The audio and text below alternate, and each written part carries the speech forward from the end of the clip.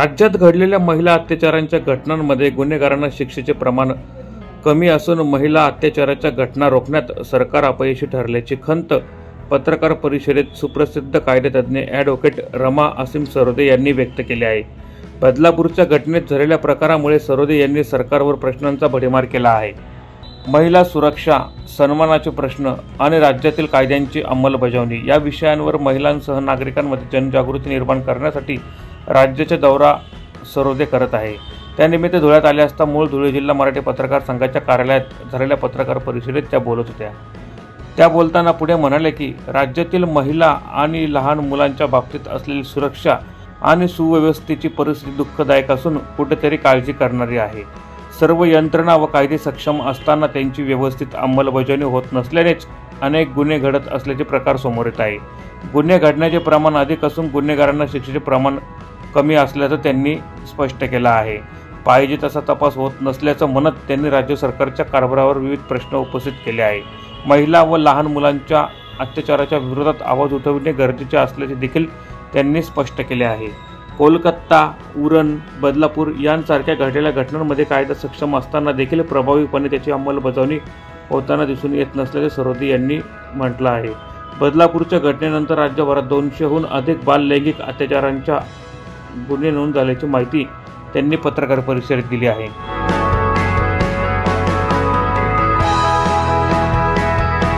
महाराष्ट्राची सुरक्षा आणि सुव्यवस्थेची परिस्थिती सध्या आपल्याला दिसून येते आहे महिलांच्या बाबतीत आणि लहान मुलांच्या बाबतीत. ती अतिशय दुःखद आहे आणि कुठेतरी काळजी करण्यासारखी आहे. सगळे यंत्रणा कायदे व्यवस्थित असताना त्याची अंमलबजावणी होताना दिसत नाही आहे आणि म्हणून अनेक असे गुन्हे घडताना दिसत आहेत पण ज्या ज्या पद्धतीने गुन्हे घडत आहेत त्याच पद्धतीने गुन्हेगारांना शिक्षा होताना दिसत नाही आहे किंबहुना तो तपास जो पद्ध जो व्यवस्थित झाला पाहिजे तोही होताना दिसत नाही आहे आणि बदलापूरची केस आहे ती आपल्यासमोर उदाहरण आहे की जोपर्यंत लोक रस्त्यावरती उतरली नाहीत तोपर्यंत त्या केसमध्ये कोणी काही केलं नाही. आणि त्याच्यानंतर पण जिथे गुन्हा घडला आणि जे मॅनेजमेंट होतं तर त्यांच्या प्रतिष्ठेचा विचार करून पुन्हा एकदा सरकारनी त्याच्यामध्ये खूपच उशीर लावला. पण ज्यांना हे सगळं भोगावं लागलं किंवा ते कुटुंब असेल ती लहान मुलं असतील मुली असतील ज्यांच्यावरती असे प्रसंग आले त्यांच्या प्रतिष्ठेचा कुठेच काही विचार न करता ज्या पद्धतीने हे सगळं चालू आहे तर त्याच्या विरोधात प्रत्येक सामान्य नागरिकांनी आवाज उठवणं गरजेचं आहे.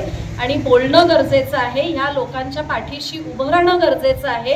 म्हणजे मग न्याय व्यवस्था किंवा न्यायाची जी व्यवस्था आहे सुव्यवस्था आहे ही व्यवस्थित चालेल पण त्याच्यासाठी आपण आवाज उठवणं गरजेचं आहे. निश्चितपणे अपयशी ठरलेलं आहे सरकार आणि उपाययोजना मी तेच म्हणतेय की कायदे आहेत. त्या कायद्याची व्यवस्थित अंमलबजावणी असणं जे सर म्हणाले की त्याच्यासाठी पॉलिटिकल विल असणं आणि ती कायद्याची अंमलबजावणी असणं.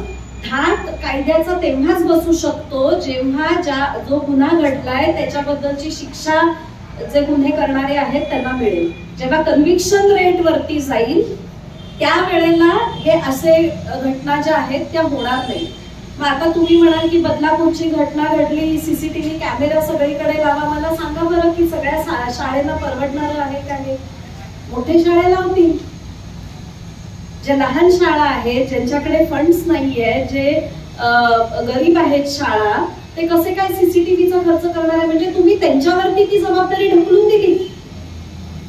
सुरक्षा असणं लहान मुलांची असेल किंवा महिलांची असेल किंवा अजून कोणाची असेल ती सरकारची जबाबदारी आहे. मग तुम्ही घ्या ती जबाबदारी आणि लावा सगळीकडे सीसीटीव्ही पण फक्त सीसीटीव्ही कॅमेरे लावून नाही चालणार ना. तुम्ही काय करणार आहात त्या डेटाचं मॉनिटर करणार आहात रिव्ह्यू करणार आहात काय करणार आहात? तुम्ही हे गुन्हे घडण्यापासून थांबवण्यासाठी तुम्ही काय करणार आहात?